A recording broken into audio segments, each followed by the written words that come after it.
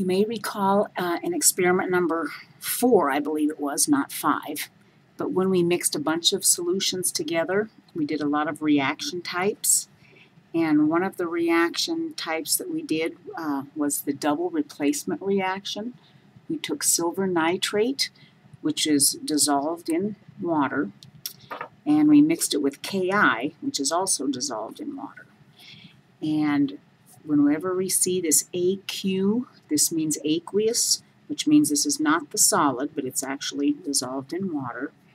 And so we could take this ionic compound and show that it's separated into ions. So the nitrate is the polyatomic ion, and that's the silver ion. And then potassium iodide breaks up into potassium ions and the iodide ions. When we mix this together, we ended up seeing a white solid form. So I'm going to try to do this. And this reaction was when this metal gets together with this nonmetal, and then this metal gets together with this nonmetal. So you may remember me referring to that as wife swapping.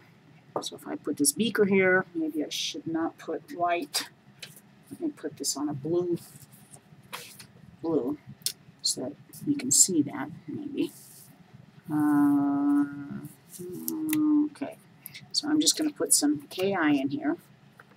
Put some KI in the beaker, and that's just still clear. And then when I add silver nitrate to that, silver nitrate's also clear. When we add that, then we see a white solid that forms.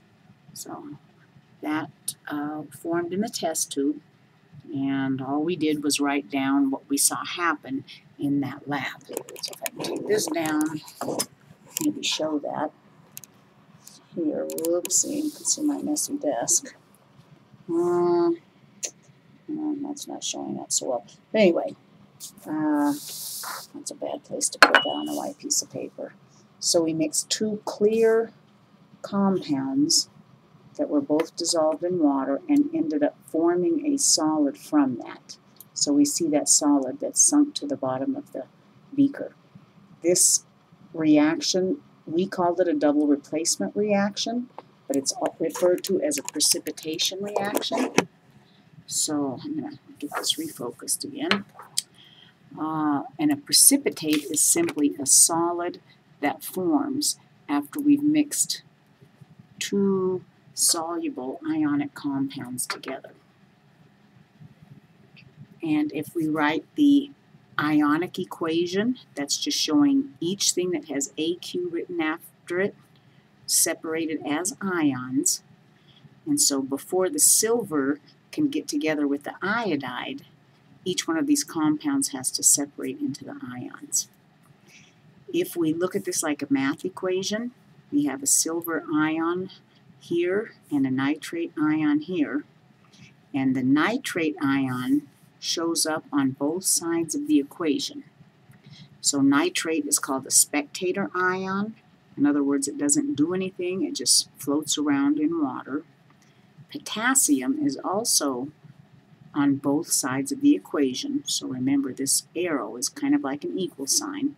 So the potassium ions also just float around in solution. Silver iodide, this is insoluble. So if we had a bottle of silver iodide that we bought, if we put that in water, it would not dissolve.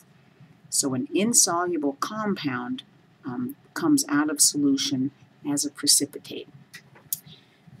We're not going to be terribly concerned about that in this chapter, but what we are going to be concerned about is talking about how concentrated a solution is. And there's two ways of talking about solution concentration, and one of those is mass percent. I'm going to try to zoom, get a little bit closer here. So when we talk about um, the concentration of a solution, that's a whole different idea than talking about a reaction. This just happens to be a reaction where we have two soluble salts combining to form an insoluble product. most of the chapter is going to be focused on this molarity. That is the capital M that's written on the bottle.